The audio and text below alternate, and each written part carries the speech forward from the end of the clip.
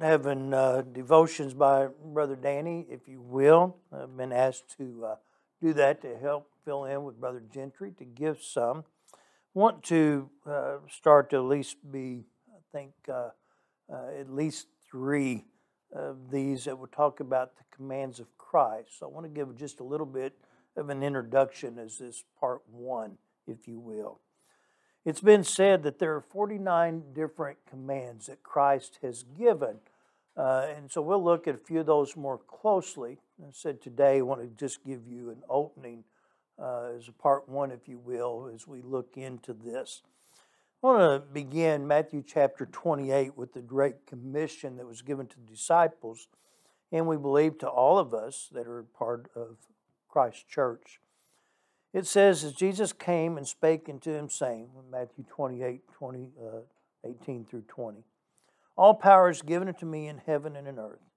Go ye therefore and teach all nations, baptizing them in the name of the Father, and the Son, and the Holy Ghost, teaching them to observe all things whatsoever I have commanded you. And lo, I am with you always, even unto the end of the world. And so that we have by Jesus' words that he said, that we were to teach and to observe all things whatsoever he has commanded uh, that way. And I said there is a teachings on that. You can look those up at 49 different commands. I want to give you a couple other verses of God's promise, if you will, and precepts of keeping his commands. And so that last setting is Jesus was with his disciples there in the upper room before he would go to the garden and to the cross, there is uh, said to me that passage of scripture in John uh, chapter 13 through 17, in particular verses in chapter 14 through 16, uh, the last words he would give to his disciples before his death and burial uh, and resurrection. Chapter 14 of John, verse 15, read, If you love me, keep my commandments. And I will pray the Father, he shall give you another comforter, that he may abide with you forever. It would teach us then this comforter, that paraclete that would come along beside him, uh, that advocate, if you will, who would enable and keep. That verse 26 of John 14 was told that I will send him in my name. He will teach you all things and bring to remembrance whatsoever things I'd spoken to you. As I taught here not too long ago, I was reminded that John also says that there were many other signs that Jesus did in the presence of his disciples, but these things in the book of John were wrote so that you might believe that Jesus is the Christ and believe you might have life through his name. He would also teach us here in John chapter 14 that he said in verse 21 He that has my commandments and keeps them, literally obeys them, he is the one who loves me, and he will he that loves me shall be loved of my Father, and I will love him and manifest myself to him. That word manifest literally means that he would appear to declare and to reveal himself. So that promise to those who keep his commandments and obeys them truly is the one that loves Jesus. And then by loving him, that we will be loved by Jesus and by the Father, and they then will reveal, appear, uh, and declare themselves unto us. What a blessing that is. Verse 23, another verse in that section, Jesus would answer after Judas, not Iscariot, would ask, How's it that you're going to show yourself unto us, but not the rest of the world?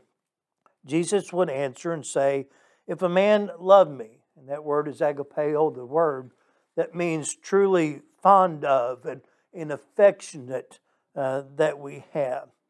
That if any man love me, he will keep my words, and my Father will love him, and we will come and make our abode with him. Only the second time that word is used in Greek. The first one here at the beginning of this, after Jesus would say, Let not your heart be troubled, you believe in God, believe also in me. In my Father's house are, quote unquote, many mansions. Mansions is dwelling place, that same word for abode that we have here in verse 23. And so God will make yourself resident with us, dwell with us when we keep and obey His words. What a blessing and an understanding that that is.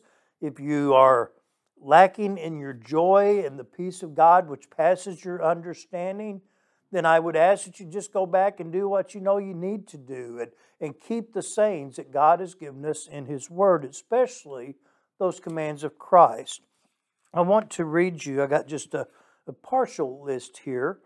Uh, I found some of them are very practical, others are there. And I said, we're going to pick a few of those and look at them a little more in depth in, in the next couple sessions or parts. I've got a list of 14 that are right here out of the 49. Repent. Remember that John the Baptist started that, but Jesus would also say that repent for the kingdom of heaven is at hand. We're told in Matthew 5 16, let your light so shine. Uh, we also know by the world can see your good works and glorify the Father. That's the reason. That we're to be righteous, that our righteousness should exceed the righteousness of the Pharisees. We're to keep our word, another command that Jesus taught. To go the extra mile, to not worry or be anxious, to seek His kingdom. Remember, seek first the kingdom of God and His right way of doing things, and then everything else will fall into place. Another one, take His yoke upon you. And I've said we stop right there, but it says, Take my yoke upon you and learn of me, for my yoke is easy and my burden is light. You find that in Matthew chapter 11, verse 28 through 30. There are those others, these may be practical as well, to be reconciled, to settle matters quickly, to not lust. Makes sense, but those are commands that Christ gave. To don't divorce except for infidelity, to pray, and then the last one that I have for you then is to live that golden rule.